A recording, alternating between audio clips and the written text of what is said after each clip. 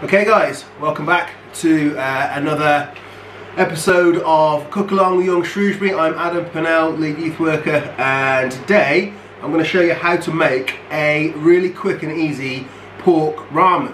Uh, ramen, for those of you who don't know, it's Japanese noodles, okay? Um, and you can use all different types of noodles. Um, today we're going to use egg noodles, um, which are really easily ready, readily available. If you're just tuning in now uh, and you want to know, you want to do take part in this, you can check the comments and you'll see that we've written in all of the ingredients for you. But I'm going to go through it again. So we've got the egg noodles. I've got some belly pork, just a couple of strips. Roughly a strip per person. So I'm just going to, there's only me here. I'm going to do two portions, but there's only me here today. So I'm not going to make as much as you maybe. So you might want to double up. I'll talk about that on the way through. We've got pepper, we've got some spring onions, we've got a chili, we've got some sesame seeds. I'm using black sesame seeds, but white sesame seeds are cool. I've got a little bit of corn. You can use tinned or frozen or fresh uh, a little bit of broccoli, some fresh ginger, and then we've got some soy sauce, got some, this is actually rice wine vinegar, but you could use white wine vinegar, you could use any kind of vinegar really, it's fine. I'm just going to use this rice wine vinegar. Um, I've got some honey, runny honey, and I've got some sesame oil, okay? Right, so to start off with then, I'm just going to get my, uh, my pan up to temperature. Um, we're going to just get the noodles cooked. Now normally what you do with nut ramen is you build the bowl as you go. So what we're going to do, and reduce the amount of washing up and stuff, we're going to use the liquid that comes from cooking these, uh, the cooking the noodles, I'm going to use to make the stock as well. Alright, so I'm going to show you how to do that as we go. I'm just going to bring that up to temperature, shouldn't take a minute. And whilst we're waiting, I'm just going to chop up some veg. Okay, so I'm just going to take my we're going to stir fry this and it's just going to go, once we've got the noodles in the bowl here, okay, we're going to then add the uh, vegetables and then we'll finally add the pork belly and then we'll pour the sauce over. So the noodles might look like they're going to go cold, but by the time we poured there, by the time we poured the stock over them, it's going to heat them back up again. All right. So anyway, I'm going to take my broccoli. I'm just going to slice it into quite sort of thin pieces because we're just going to quickly stir fry this. Yeah. We only want to heat it through. I want to keep some crunch to that vegetables first. Those vegetables. Firstly, because it kind of means that the, uh, you don't cook out all of the goodness. Okay. And secondly, I just like a bit of crunch. Nobody likes soggy vegetables. So I'm going to put those to one side. They're just sliced. So you'll see they're like quite thin, you know. They'll cook in seconds in, in a hot pan. Sounds like my pan's up to boil. Alright, cool, so that's good to go. So what we're going to do is I'm going to, I'm to put in these, roughly one of these little discs is about a portion. I want to make two because maybe I have one later. Okay, so I'm going to drop those in and at the same time I'm going to go in, so I've got about, again if you go with about 300 mils of water per person, okay that will work. So I've got about 600 mils of water in there, okay, and I'm going to drop in a uh, vegetable stock cube. Okay, you can use beef stock if you want, you could use chicken stock, pork stock, whatever you like. This is actually like an Asian vegetable stock, so it's completely vegan actually, this one, but it gives a lovely flavour to the stock. So I'm just going to crumble in the stock, uh, the stock cube into the water, put the lid back on, just let those noodles do their thing for while we carry on chopping. Okay, so next thing is pepper, okay? So I'm just gonna use, I'm not gonna need much because I'm only making a couple of portions. You could use a whole one. I'm gonna use just half, okay? I'm just gonna cut that into some nice thin slices. They'll look really cool with the noodles. And again, these are gonna be cooked up so quickly that you don't want big chunks, you just want sort of nice thin slices all the way down. So you end up with bits like this in your noodles. Almost the thickness of noodles, yeah? Alright, so let's get that sliced. Excellent. So we've got our broccoli and our pepper sliced. The These spring onions, they're, they're used right at the end. Well, the green bit is. So what we're going to do is take off the root end, get rid of that, okay? You could chop the white bit into say like three or four maybe, yes, you got about, I've got about six pieces there, chunks which we're going to fry. But then when you get to the green bit, we're going to use this to garnish later. So what we're going to do is just slice that very thinly across into little, you get little ringlets. And that's going to give it a nice fresh feel when you serve it at the end. We're just going to sprinkle it on right when everything else is in the bowl. So they can go, the thick bits from the bottom go into the pile with the veg that we're going to cook and then those thin bits you can just keep to one side for later on. Same goes for the chili. The chili we're not going to cook, we're just going to use it to garnish. So depending on how hot you like it, slice those into nice thin little pieces. You can tell that my uh, this is going hard now, so we're going to look at that in a second. So I'm just going to slice these into some nice thin ribbons. Alright, like this. And then pop to one side. Right, cool. Okay, so let's have a look at these noodles. Woo, that's a bit warm. Be careful when you're taking lids off. Okay, so those noodles are, they just sometimes they need some help just breaking up. Okay, so I'm just going to tease them apart, but they're almost done. Very, very close indeed. All right. And I'm just to taste that broth. I'm to taste that sauce because ultimately that's going to be our broth. And see, I want to add anything else because you can if you want to. You know what, it's pretty good as it is. What I'm going to do is add in a little bit of soy sauce. And a drop of honey. Okay, tiny bit of honey. So I'm just going to dip my spoon and this goes straight over and just stir it through with the spoon. Okay, so those noodles are looking like they're done. So what I'm going to do, now I've stirred everything else into that stock, is put that to one side. We're going to get some tongs. So because we're going to keep this stock, you need to kind of either strain it into a sieve and save it and put the stock back into the pot, or just use some, um, what are these called? Tongs. Tongs. Okay, to whip out the noodles and put them into the bowl that you're going to serve them in. Okay, so we've started to build our noodle bowl, our ramen bowl already. Alright, so normally you kind of space them out. So we're going to put the ramen, the noodles to one side of the bowl, like so. So you'll see I've got this gap here, and that's where the veggies are going to go. Alright? I'm going to pop the noodles to one side, and I'm going to take this off the heat now. Okay, and we're going to switch it in for a frying pan. So take that off, that can just rest. That stock will be used again later. We're going to start cooking some stuff now. So, next in. Oh yeah, before we get that going, what I need to do is, right, we'll turn that off for a sec. Right, don't get ahead of yourself Adam. Right, so next thing, I've got our noodles done. I'm going to take what we call a thumb of ginger, so basically about the size of your thumb, yeah, snap off a piece of ginger. You can use a spoon to peel it, it's the best way. Okay, so if you just scrape all the way along with the side of a spoon, ginger will peel really easily. Okay, so we're going to get that going. Oops.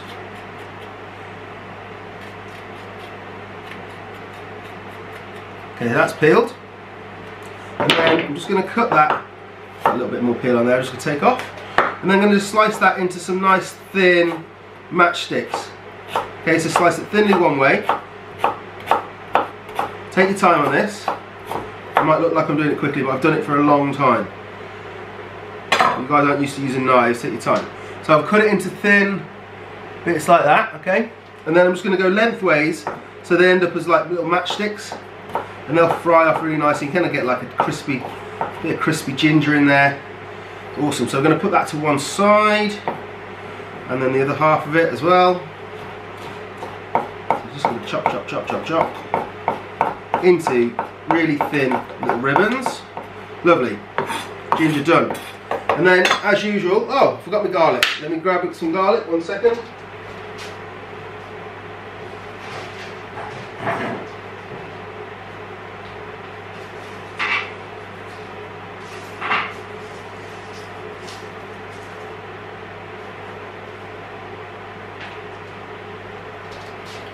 Be a cook along with me without forgetting something. So two pieces of garlic, side of the knife, pop it. So you're crushing it, skin will just fall off. So easy, yeah? So that's one. And the second, two. And then just get that bit off there, lovely. And then I'm just going to chop that up really thinly, or really finely, sorry. Nice and fine. Okay, so save that to one side. Once you've done it, make sure you get it nice and small. You don't want big lumps of garlic in your ramen. It just ain't gonna work. Okay, cool. Right then, so, next up, get your pan back on. So I'm gonna get it on, you want it on fairly high heat to be um, doing any kind of uh, stir frying. Give it a good glug of sesame oil in the pan. Don't be shy with that. Okay, actually while we're waiting for that to heat up, what we're gonna do is just quickly marinate this belly pork. So I've got these belly pork strips like this. Half the garlic, oh no, sorry, I'm gonna leave the garlic out. I'm gonna put half the ginger that I've just made chopped into the belly pork. Okay, I'm going to go for a good glug of sesame oil. Okay, and a good tablespoon of soy sauce. Okay, and just make sure that that pork gets coated. It's going to get more stuff going added to it later, but for, to start with, just get a little bit of a marinade going on your pork while your pan heats up. I'm just going to wash my hands.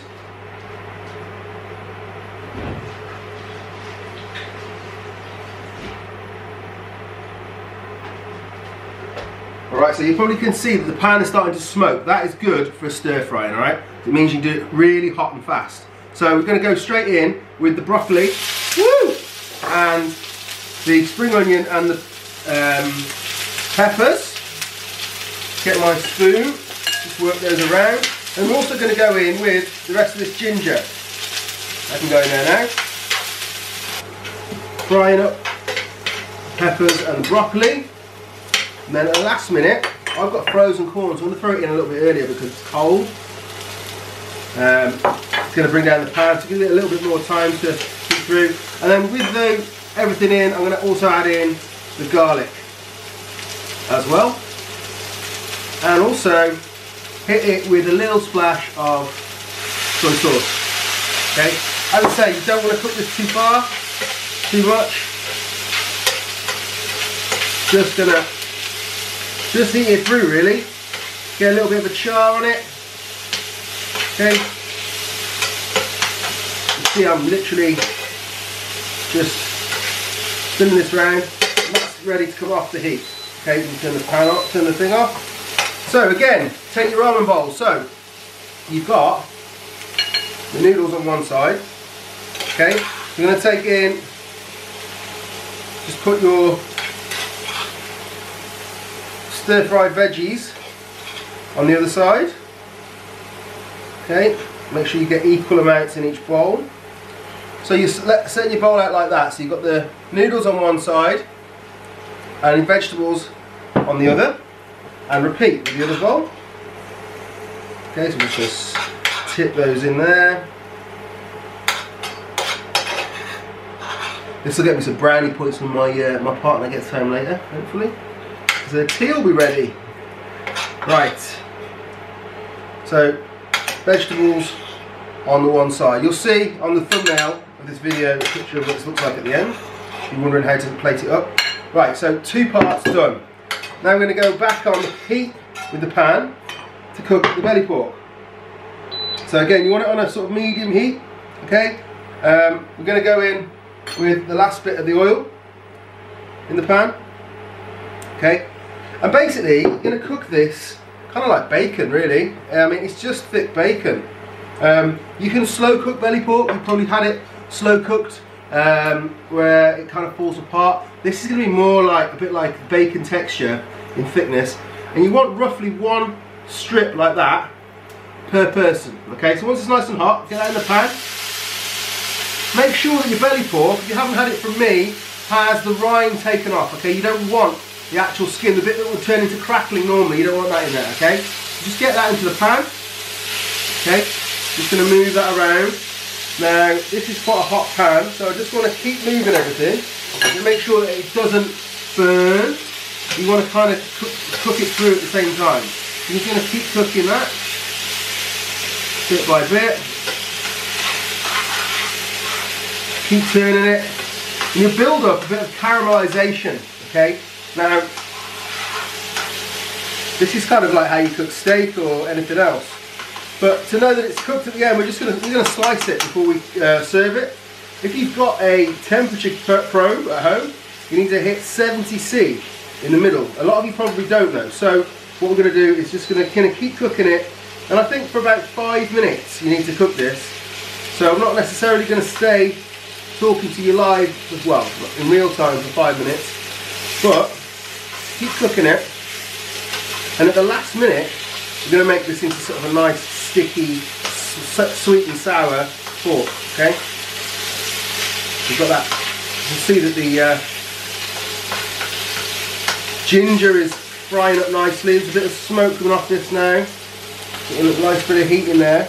Now, the last things that we're going to add into here, the thing that we're going to add into here is a bit of honey and a bit of vinegar.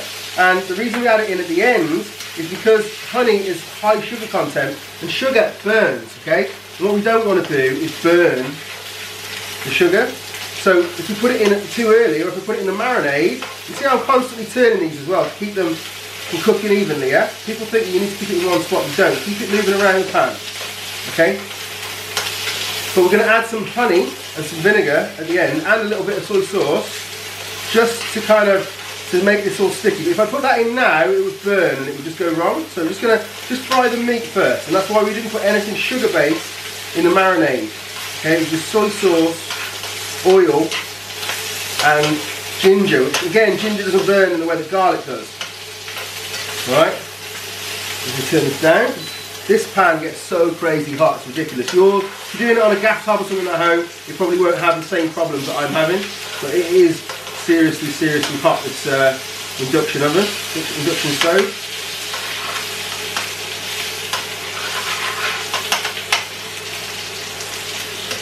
Okay, what I'm going to do now, now that it's started, got a nice bit of caramelisation, there's a bit of kind of um, sort of caramelised sticky stuff on the pan. I'm going to deglaze with some vinegar, okay? Put some vinegar into the pan.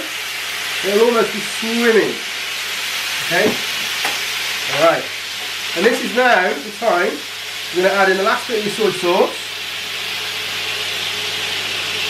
And a tablespoon of honey Add that to the pan. You're just going to keep rolling. You take the heat right down now. So you're going to low heat. We're just going to keep rolling that belly pork in that honey and vinegar and soy okay, so, until it's got a really kind of sticky coating on it. And the vinegar and the honey will reduce to give you this lovely sticky belly pork which we're going to finish the dish with just keep working it around in there. You'll see that it's fizzing away on the edges. Okay, the sweet and the sour, that's how you make sweet and sour, it's just basically vinegar and something sugar based. So honey and any kind of vinegar is an absolute winner. I'm going to turn it up a touch because it's going really slowly. So I want to try and reduce this down now and end up with a sticky sauce.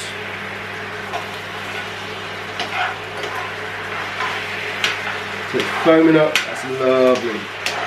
Absolutely gorgeous. It really is. So, if you can't see, I'm going to give you a quick view of what's going down here. Try and get away from the steam. Whoops. Oh, look at that belly pork. Absolutely amazing. That's what you're looking for. That's almost done. Gonna pop you back.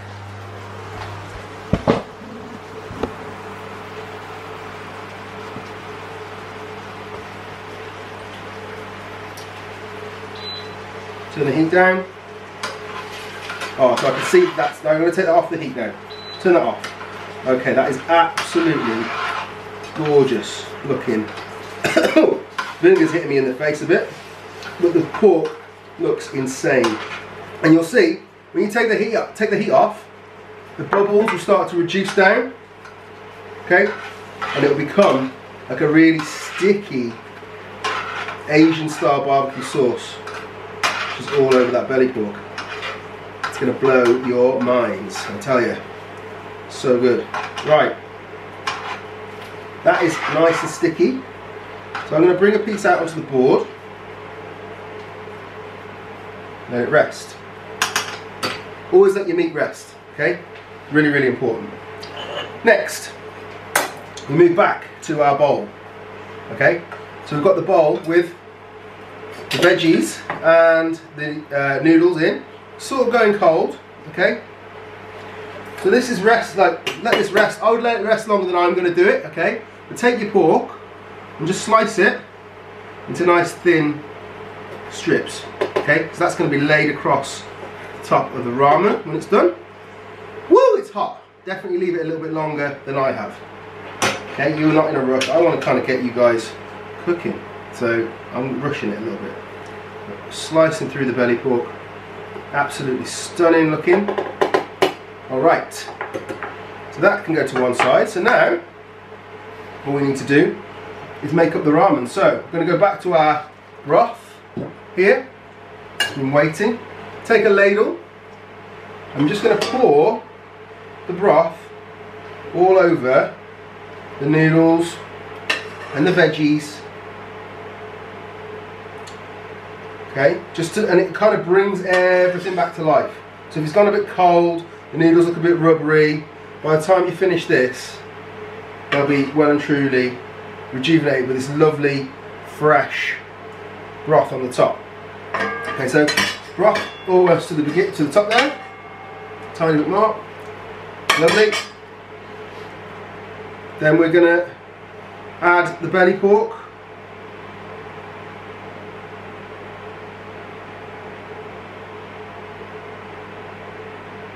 Just nice and gently, because it's always nice to make the presentation good.